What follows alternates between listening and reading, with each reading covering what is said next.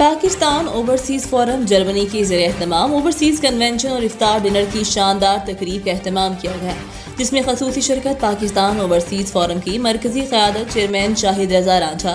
vice chairman Ghulam Mustafa Diwan और मरकजी general secretary Khurram Shahzad Ranjha ने शिरकत की। पाकिस्तान ओवरसीज़ फोरम जर्मनी के सरपरस्त आला ताहिर अब्बास रांझा, सदर फैसल शहजाद जनरल सेक्रेटरी मासर इकबाल दार और जर्मनी की टीम के ज़र अहतमाम जर्मनी के शहर फ्रैंकफर्ट में इफ्तार डिनर का बड़ा खूबसूरत अहतमाम किया गया, जिसमें मेहमानों के साथ साथ पाकिस्तानी कम्युनिटी ने भी भरपूर शिरकत की और चौधरी शाहिद रदा रांझा के ओवरसीज़ भाइयों के लिए किए जाने वाले इकदाम को खूब सराहा।